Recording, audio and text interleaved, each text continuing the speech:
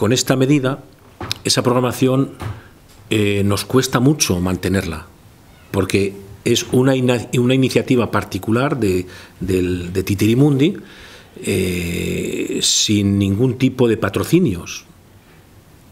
Por tanto, la recaudación de la taquilla es lo único que tenemos para afrontar los gastos que conlleva la contratación de una compañía, los gastos de organización, publicidad, promoción, etcétera. Bueno, con esta subida del IVA tendríamos que subir también el precio de las entradas, algo que nosotros ni nos planteamos. Yo creo que obedece más bien a un deseo de penalizar que, que, a, a, recaudar. ¿no? Eh, por recaudar hubieran podido eh, eh, buscar otros, otros, otros manantiales, otros lugares donde recaudar y se recaudaría mucho más que con el IVA a las entradas al teatro o al cine. ¿no? En Titirimundi, concretamente este año, nosotros hemos tenido que reducir el número de empleados, de personal contratado, de técnicos. Concretamente, 11 empleados menos, 11 trabajadores menos que han venido a trabajar a Titirimundi este año porque teníamos que eh, pues, eh, economizar donde pudiéramos, ¿no? ¿Y dónde, dónde? Pues, pues ha tenido que ser ahí, en el empleo de 11 personas, haciendo trabajar más a la gente, por otra parte, ¿no? Vamos a ver, tenemos pendiente una subvención que dábamos, dábamos por concedida del Ministerio de Cultura. Hasta el año pasado, Titirimundi tenía una subvención nominativa del Ministerio de Cultura. Se beneficiaba de una nominativa, quiere decir, es una, una, subvención que se concede automáticamente.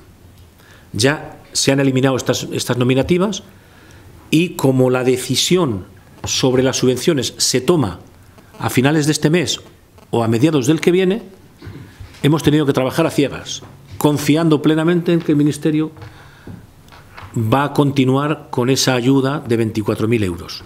Pues hemos hecho malabares, malabares, o sea, que es eh, realmente, ¿no? Quiere decir, o sea, hay gente que ha estado trabajando 24 horas sobre 24, quiere decir, o sea, que...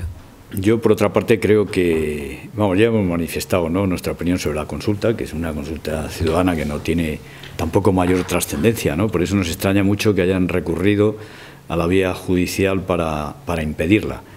Y como digo, pues yo creo que es producto de la mala conciencia que tiene el Partido Popular de la forma en que han actuado en contra de los intereses de la ciudad de Segovia, ¿no? clarísimamente.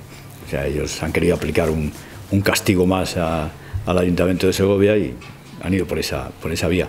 Bueno, pues que no sea contra otro municipio de, Alfod, ¿no? Me parece que, que está demasiado...